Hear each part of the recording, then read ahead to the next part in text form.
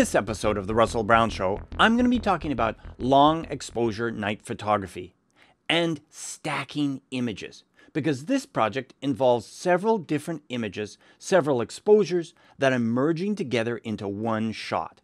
It's almost impossible to photograph this image in one shot, so I'm creating it from multiple photos and merging them together. And it's called stacking here inside of Adobe Photoshop CS6. Now, just so you know, in this project, I'm using a Canon 5D Mark II. I'm using an interval exposure unit, as you see here, to get my long exposures. And I also have a very sturdy tripod. And in this project, I'm using a strobe to light this rock here in Zion National Park. Okay, let's get started with this project and show you the steps I went through to achieve this image. To do that, I'm going to go right over here to Adobe Bridge, where the story begins, right here.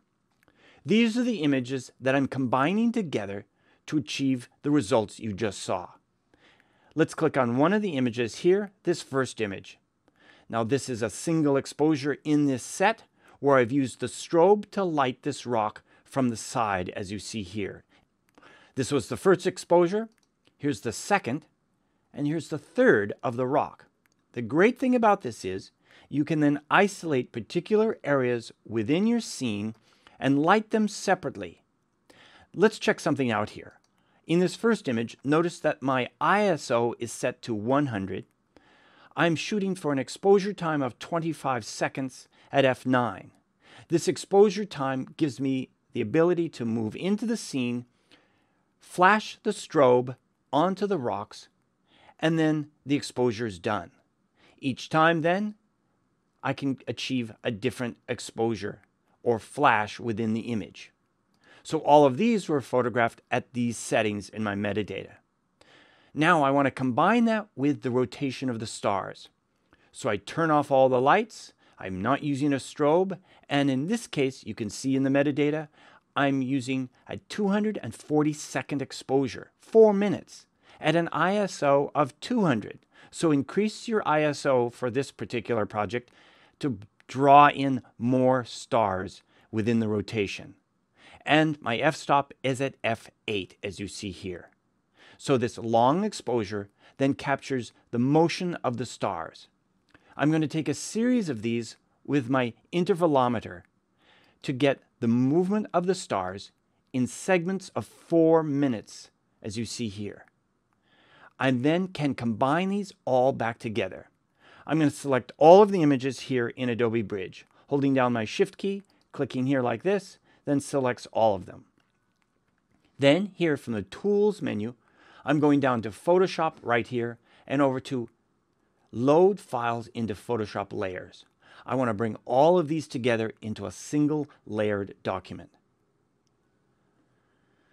Now these images started off as Camera Raw images, and I can make adjustments inside of Adobe Camera Raw to get the color and settings just the way I want them. Okay, in this project, I now want to merge all of these exposures into a single exposure. And here's a great new feature inside of Adobe Photoshop CS6.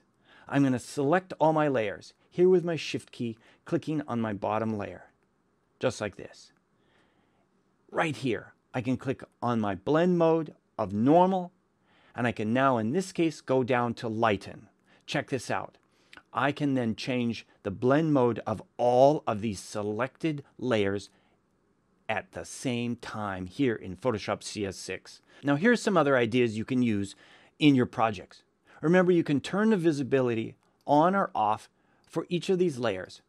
So the great thing again about taking multiple flash images is that you can turn the flash on and off to see what the results would look like without that particular light source.